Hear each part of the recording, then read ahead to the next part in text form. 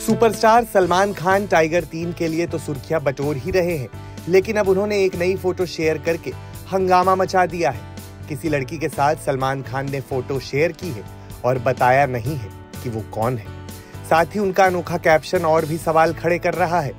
Actor Salman Khan 16 अक्टूबर को Yash Raj film की टाइगर थीम का ट्रेलर दिखाने के लिए पूरी तरह तैयार है। एक्टर ने हाल ही में खुलासा किया कि टीम ने फ़िल्म में एक्शन का तड़का लगाया है। यशराज बैनर तले बनी फ़िल्म टाइगर तीन इस साल दिवाली के मौके पर रिलीज़ होने के लिए तैयार है। फ़िल्म के बारे में बात करते हुए सलमान ने कहा, लोगों ने एक था टाइगर टाइगर ज़िंदा है और Y R F spy universe की फ़िल्में देखी हैं। हालाँकि अब सलमान खान ने कुछ ऐसा पोस्ट कर दिया है, जिससे लोग कंफ्यूज हो गए हैं कि आखिर ये है क्या? सलमान खान ने इंस्टाग्राम पर एक फ़ोटो पोस्ट की है। इसमें वो आगे की तरफ़ देख रहे हैं और उनके कंधे पर किसी लड़की ने अपना सिर रखा है, जिसकी पीठ दिख रही है। दोनों ने सफ़ेद कलर के कपड़े पहने हुए हैं और उनके कपड़ों पर एक नंबर लिखा है, सत्ताईस बारह।